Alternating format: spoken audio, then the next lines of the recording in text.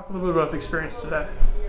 Um, well, it's been a really fun experience for the whole Drake women's basketball team coming out and being able to give back to the community that gives so much to us.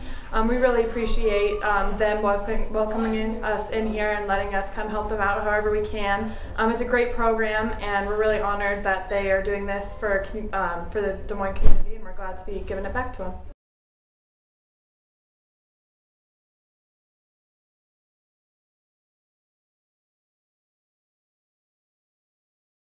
A little bit about what it's been like to come out to Hawthorn Hill today and kind of give back.